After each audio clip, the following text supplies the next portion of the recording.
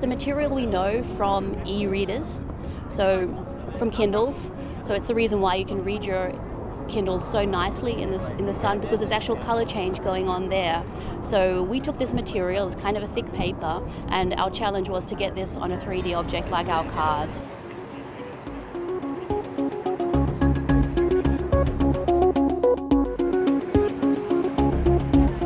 Okay, so now I'm switching it with the app uh, to various effects. So now it's white. We switch it to a darker color, and now back to white, and um, we put it into bi-color mode. So the top's lighter and the bottom is darker.